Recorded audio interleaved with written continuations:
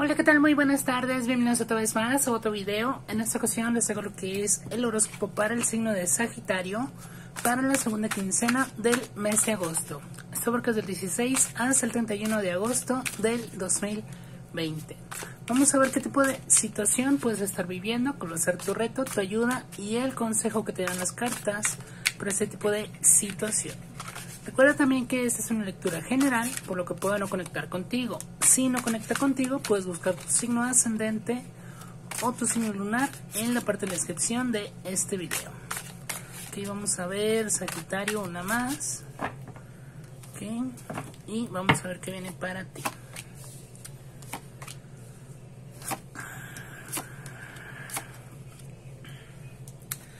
A ver, Sagitario. Te veo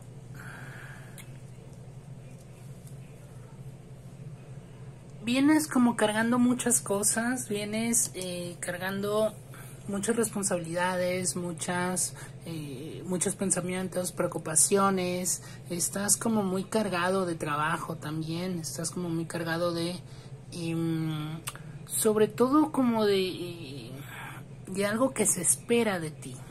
Aquí este 10 de bastos eh, te está produciendo un cansancio por cuestiones eh, obviamente emocionales, ¿no? Pero tiene que ver mucho con la organización de tus actividades, tiene que ver mucho con...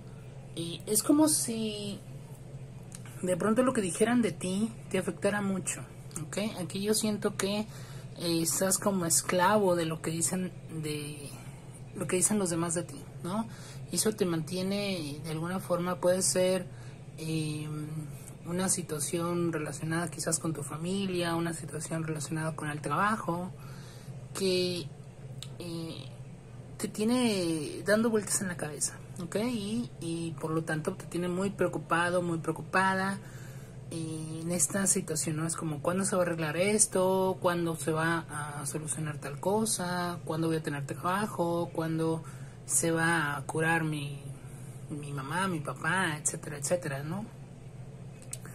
Aquí te veo eh, como pidiendo mucho ayuda a, em, a, Dios, a los ángeles, a, a, la deidad que tú, que tú creas, pero también eh, es como si le estuvieras dando la espalda, ¿no? Es como si, si tu intuición te dijera una cosa, y aquí, eh, digo, aquí lo estamos viendo, me están diciendo que es como si le estuvieras dando la espalda a los mensajes que hay entre tú y tus guías, entre tú y tus ángeles, entre tú y Dios. Em, puede ser por situaciones de que quizás las cosas no están saliendo como tú quieres. Y aquí nos hablará un poquito de control, de manipulación, claro, eh, de, de, tu parte, ¿no? Es como si quisieras controlar todo. Digo, no estoy diciendo que seas una mala persona, pero sí y te gusta como mantener el control de todo, de todo en tu vida. Entonces cuando las cosas no salen y como tú quieres que salgan, te sientes mal. ¿Por qué? Porque quizás eh, de alguna forma te has acostumbrado a, a, como hacerle caso a los demás, como mantener una imagen ante los demás, ¿no? Y, de pronto esto, eh, esa imagen se empieza a caer porque de alguna forma te estás liberando, ¿no? Te estás liberando de creencias, te estás liberando emocionalmente, te estás liberando eh, en muchos sentidos y estas eh, máscaras obviamente emocionales empiezan a caer y, estas máscaras también a nivel eh, de comportamiento, a nivel de pensamiento, se empiezan a caer y muchas veces a consecuencia de esto y lo que pasa es que pierdes amigos o pierdes familia porque se empiezan a abrir nuevos caminos que te están llevando donde tú te sientas bien o donde tú realmente seas libre y seas feliz y no donde la gente te obliga a estar. ¿okay? Entonces aquí sí veo mucha cuestión de apertura de caminos, veo mucha cuestión de eh, lucha, estar luchando sobre todo por tu trabajo también, por estar construyendo una... Eh, tu propia eh, tu propio imperio vaya el, hecho de liberarte. Por ejemplo la independencia de tus padres el tener un buen trabajo el, eh, tener eh, una pareja que realmente te apoya nos estaría hablando de que te llevarían por un mejor camino no pero Eh, sin embargo, aquí, como te digo, no has estado viviendo mucho a la sombra de los demás. Estás viviendo mucho en, el hecho de que eh, todo lo que dicen los demás te afecta, eh, que todo lo que te dice tu mamá, te dice tu papá, te dicen tus hermanos, te dice tu pareja, todo eso te afecta, ¿ok?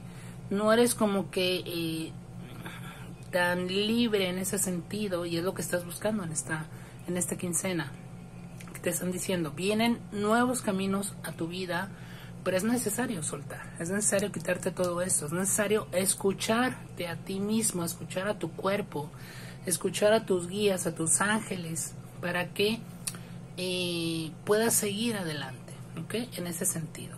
También otra, eh, y hablando un poquito más a, nivel eh, profundidad, a nivel astral, veo que puedes tener caminos bloqueados sobre todo en el, dinero y en, las eh, relaciones, en la, eh, comunicación con los demás. Hay ciertos bloqueos aquí, Estos bloqueos pueden eh, estar relacionados con varias cuestiones, con situaciones de que no has arreglado la relación con tu papá, con tu padre, esa es una, de que em, hay un trabajo aquí de cierre de caminos que viene por parte de tu papá, por parte de, tu tío, de tu eh, abuelo, no creo. Pueden ser, son hombres jóvenes. Por parte de tu pareja incluso también, donde se te están cerrando caminos para que tú te vuelvas quizás dependiente de alguien. O para que tú te eh, vuelvas em, aquí vaya, o sea, que, no te muevas de ese, de ese camino que, te duele tanto, ¿ok? Entonces sí veo que aquí em, hay una cuestión donde tú quieres darle la vuelta a esto, te vas a estar enterando incluso en esta, en esta quincena de algún tipo de trabajo que te hicieron, algún tipo de, eh, sobre todo de amarre, amarre o dominación también, eh, para que em, y tú puedes seguir adelante. Y obviamente vas a estar trabajando en ello, vas a estar trabajando en eh, apertura de caminos, eh, vas a estar trabajando rituales de abundancia, estar trabajando rituales de, para conseguir trabajo. Pero sobre todo aquí lo que te dicen es que mantengas un poquito más abierta tu mente y sobre todo que no te dejes llevar por lo que dicen los demás. ¿Por qué? Porque los demás te pueden manipular, los demás te pueden, em, te pueden eh, controlar, por así decirlo. Que si tú dejas ese poder al alcance de los demás, ellos se van a aprovechar de eso. Aquí vemos también em, trabajos con, eh, por ejemplo, medicamentos, ¿no? Aquí eh, te veo con terapia, sobre todo medicamentos naturales, ¿no? No, no, no quiero meter en la cuestión de medicina, sino más bien en cuestiones naturales. Aquí te veo mucho y tomando también antidepresivos o iniciando una terapia que obviamente no lo estoy recomendando si no lo recomienda un terapeuta. Aquí te veo mucho yendo a un terapeuta, a un psicólogo sobre todo, y que te da un, eh, te dé algún medicamento alguna terapia, vaya, eh, para la depresión, porque sí te veo que puedes estar un poco de, deprimido. y aquí veo también que eh, incluso algunas personas, eh, Sagitario, se pueden estar dedicando a esto. ¿eh?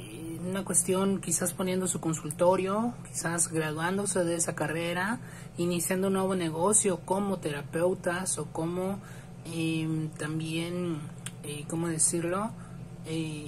psicólogos, vaya, que hayan estudiado la carrera de psicología, hayan terminado y, estén como poniendo su negocio, estén trabajando más en esa área, trabajando mucho con eh, la parte sobre todo de las personas que vienen con estrés o vienen deprimidas, aquí, eh, sobre todo en esta eh, en este momento ¿no? de, cuarentena hay muchas personas que se les están disparando lo que son las, eh, las enfermedades mentales derivadas del estrés, de la depresión, sobre todo estas dos que, que sí necesitan atención urgente. Entonces sí, Sagitario, te veo también trabajando mucho con, con esa área, ya sea que tú seas el terapeuta o que tú acudas a terapia de este tipo.